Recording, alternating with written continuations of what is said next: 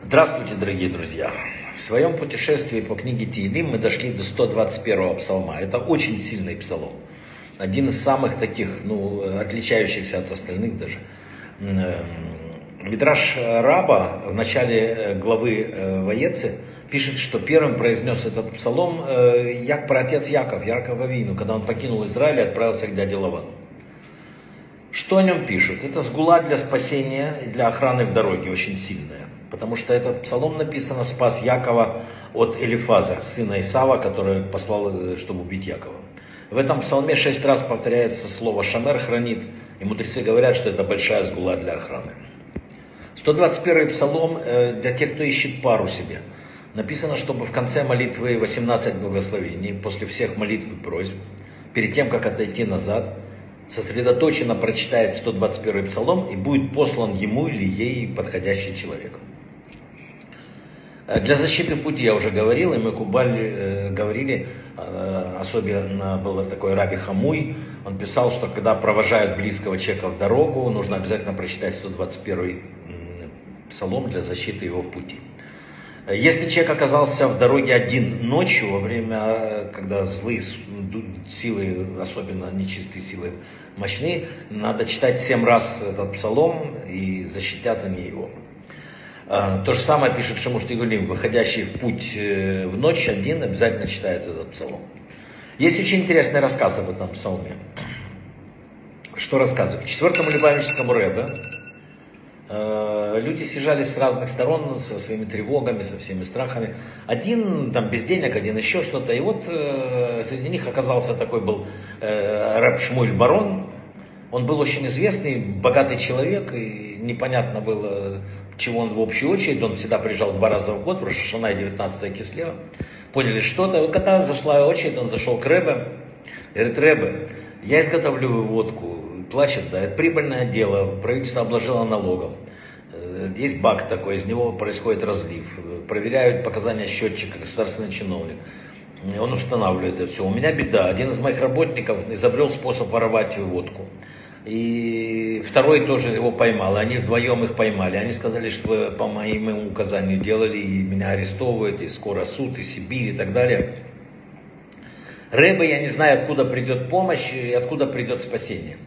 Он сказал эту последнюю фразу на иврите, цитируя из нашего псалма. И Рэбе ее продолжил на иврите, там есть из ни, ниоткуда придет помощь. Придет ниоткуда, езжай, у тебя все в порядке, когда нет шансов на спасение, точно выручишься.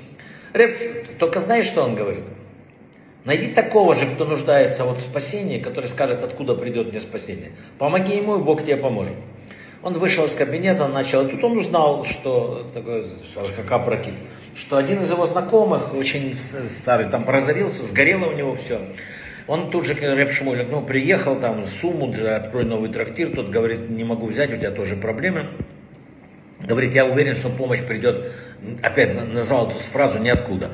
Э, этот понимает, что вот оно, уговорил его взять деньги. Короче, день суда.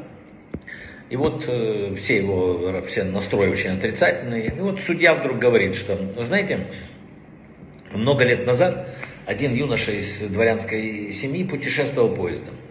И вот у него украли на станции все абсолютно, и у него не было денег, он не приучен просить у чужих.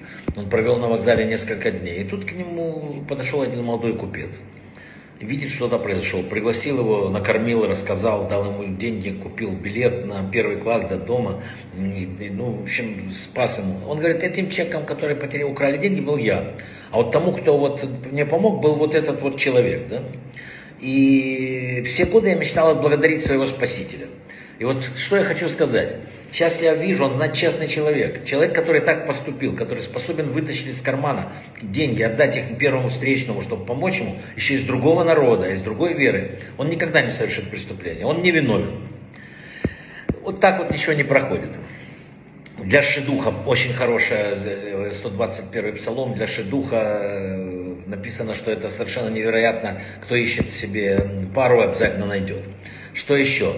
К, чтобы 121 э, псалом еще, э, ну да, тоже это считайте для шедуха, потому что пишут, что одинокие люди должны его читать для нахождения пары. Э, откуда придет помощь, помощь Господа. Сгула от страха большая, написано этот псалом. Сгула от колдовства, чтобы враги не нашли тебя, которые тебя ищут, нужно взять соль, прочитать над ней псалом и насыпать перед местом, где ты находишься, и не пройдут мимо, написано тебя. Для удачи перед важным делом, читать 121 псалом. От страхов Бен Ишхай учит, что человек, который испытывает страхи, читает этот псалом, успокаивает.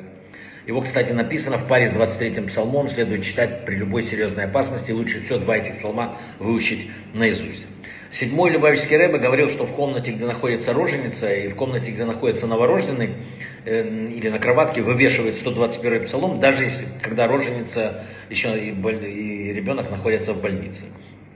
Ну и последнее, что еще, э, перед дальней дорогой читают для уверенности, чтобы охранял. И согласно обычаю, этот псалом произносится как молитва от избавления от бед и выздоровления. Это мольбим. Брахава от слаха.